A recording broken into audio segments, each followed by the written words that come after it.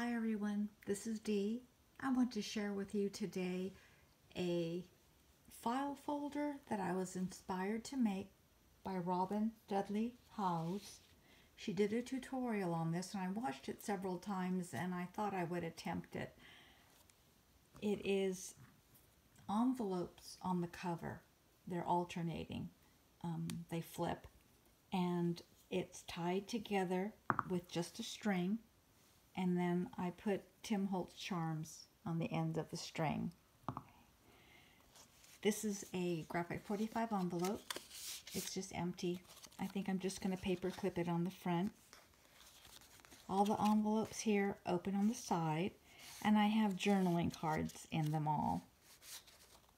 So I collaged it front and back. Here's another one. So this one opens this way collaged it again. Here's another one with journaling cards. I really enjoyed collaging. It's, I find it kind of interesting. I've got a lot of scraps like everybody else, so this was a great project for that. But I really enjoyed making this one. This is a junk mail envelope. You can see the security blue underneath and inside. And then I put book page here so you wouldn't see the blue when the journaling cards come out. So this one flips this way, and again, a journaling card.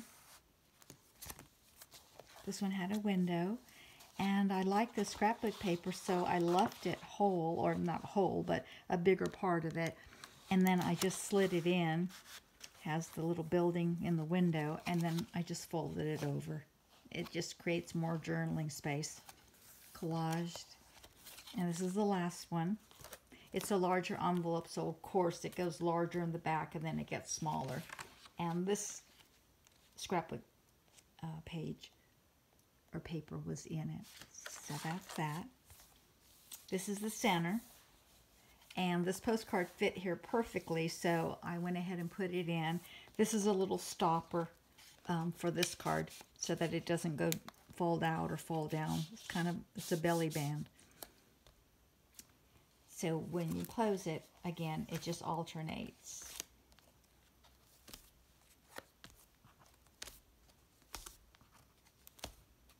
And then I stick this one here, and then this folds like this or not folds, it uh, ties like this.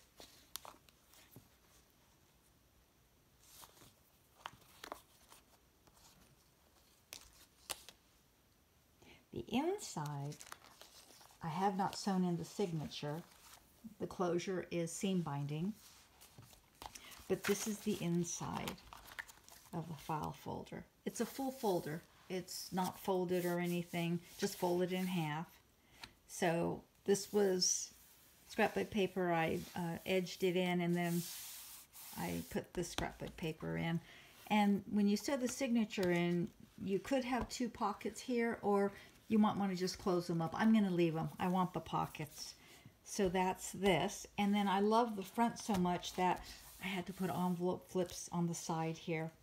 It doesn't cause too much bulk because I'm not going to put uh, put a lot in the signature. So I just created um, more journaling cards and things. And I think what I like mostly is collaging. So I wanted to do more envelopes. And I have a lot of envelopes.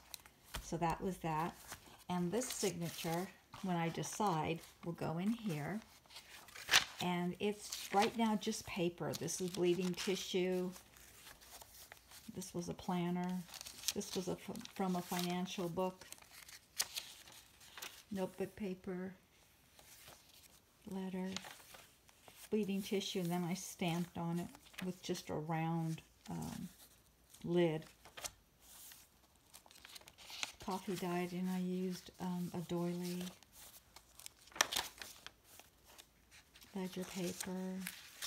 This is a maintenance manual from a Boeing 747. Bleeding tissue, but it did it on copy paper, a little bit heavier a doily, vellum, and this is the center.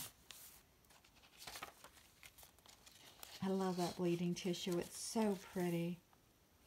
Here's the Boeing maintenance manual. ledger, coffee dye, planner paper, stationery, financials from a planner, bleeding tissue, ledger, and music page. So if you look at this, it's not really that fat. Um, I really like it. Um, it it needs a closure, I think. Um, it doesn't alligator or anything. So once I decide on the signatures, I'll go ahead and sew it in. But I really basically wanted to show you this cover. I really love it. So I hope you enjoyed it, and thanks for watching.